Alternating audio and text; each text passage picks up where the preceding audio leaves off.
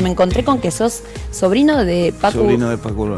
Eh, los asesinos de mi tío están presos después de, de, de 40 Bueno, años. esperemos ver que si el 2 por 1 digamos, nos deja libre, lamentablemente. Esperemos que no deje libre a nadie. Me parece como que es muy grave lo que está pasando con esto. Este fallo de la Corte no hubiera sido posible en un gobierno de Cristina Kirchner. Claro. ¿Por qué? Porque en general la Corte como que va acompañando lo que se supone quiere la gente, que la gente vota. La corte que viene tiene que ser formada por gente de trayectoria impepinable dentro del ámbito judicial, legal.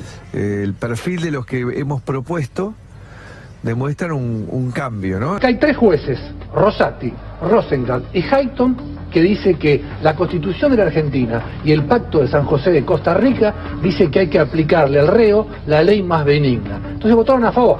En cambio, Loresetti y, Ma- y Ma- y Maqueda dicen que no. Horacio Rosati y Carlos Rosenthal, que son los dos ingresantes a la Nuevos. Corte. ¿eh? El perfil de los que hemos propuesto demuestran un, un cambio, ¿no? Carlos Rosenthal fue un hombre muy ligado a los grandes estudios, al gran estudio de abogados, de orientación más liberal, si querés, más cercano al pensamiento eh, eh, del gobierno. Usted dijo que no tiene sentido discutir la cifra de desaparecidos durante la dictadura, eh, 9.000, 30.000.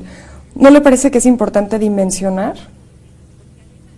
Es importante saber bien qué es lo que pasó y, y darle el derecho a que los familiares sepan definitivamente, después de esa horrible tragedia que fue esa guerra sucia, que eso fue lo que pasó. Horrible tragedia que fue esa guerra sucia, que eso fue lo que pasó. Con el paso del tiempo, ¿no siente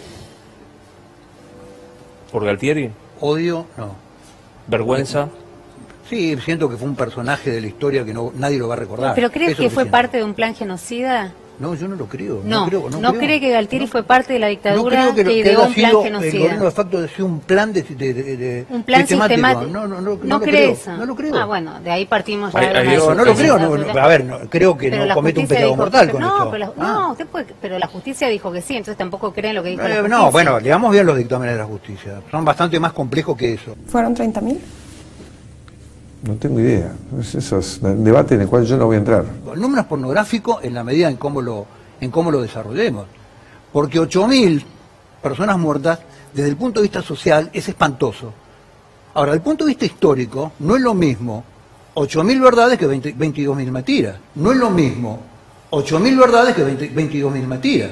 En la Argentina no hubo 30.000 desaparecidos, fue una mentira que se 9.000. construyó en una mesa para obtener sus subsidios. En la Argentina no hubo 30.000 desaparecidos, fue una mentira que se 9.000. construyó en una mesa para obtener sus subsidios. Yo estuve reunida con un ex guerrillero llamado Luis Labraña, que cuando estuvo exiliado en Holanda, me contó que lo visitaron organizaciones de derechos humanos y le dijeron este, que para recibir subsidios necesitaban, le llevaban una cifra de 3.800 desaparecidos y él dijo que la tenían que aumentar porque si no, no iban a recibir dinero. Fue una mentira que 9.000. se construyó en una mesa para obtener sus subsidios. ¿Estarás de acuerdo con lo pérfido? Yo estoy en el te- de acuerdo con el tema que no fueron 30.000 los desaparecidos.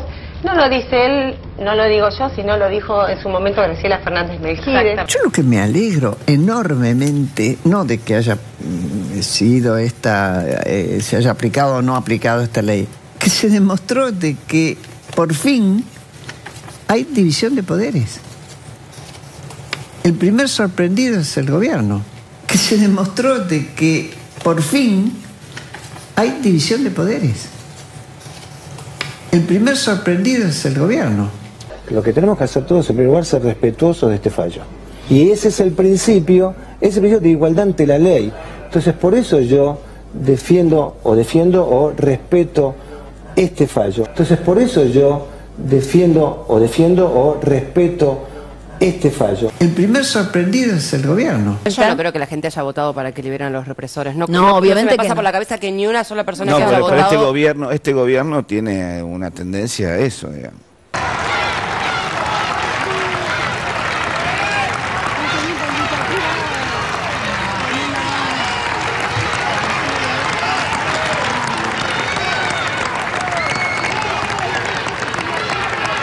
A una funcionaria que estuvo bailando sobre un escritorio dentro de la ESMA. La Secretaría de Derechos Humanos la despidió por su comportamiento impropio. Yo no creo que la gente haya votado para que liberen a los represores. No, No, obviamente me pasa que por la cabeza que ni una sola persona No, que haya pero, este gobierno, este gobierno tiene una tendencia a eso, digamos.